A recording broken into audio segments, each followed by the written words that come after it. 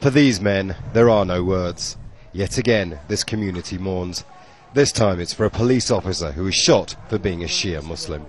Each of the men here have lost family members in similar attacks.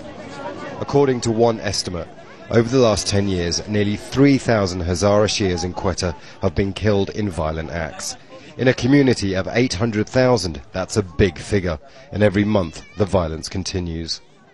On January 10th, two massive bomb blasts ripped through this street, killing over 100 people. Now, 86 people have been found and their bodies have been buried, but 17 are still missing, and locals say that they'll never find them, that their bodies were simply dispersed far too wide in the aftermath of that attack. Now, as you can see, the rebuilding and the damage is still clear, as clear as the grief felt by this community. The Isaac Ali family knows what loss feels like. They gather for our camera. Two generations united in grief for Irfan, 19 years old, who died in that attack. Masma's his sister. When she heard the news, she broke down, which was then followed by even more tragedy. My mother was so upset. We just tried to look after her. She was up all night thinking that Irfan was only injured. When she found out he was dead, she died on the spot.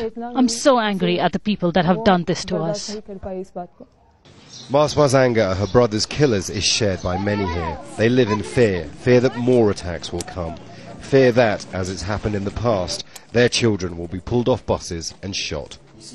Offshoots of the banned group Sipah-e Sahaba have claimed responsibility for all of the attacks on the Hazara Shias.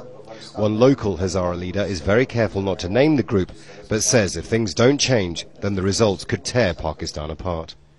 Then uh, the civil war starts is, uh, is everyone knows that Hazaras are definitely very peaceful people. We are education-oriented people.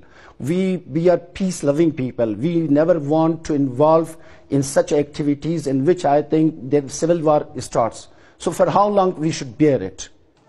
For people here, though, it's not civil war but remembrance that occupies them.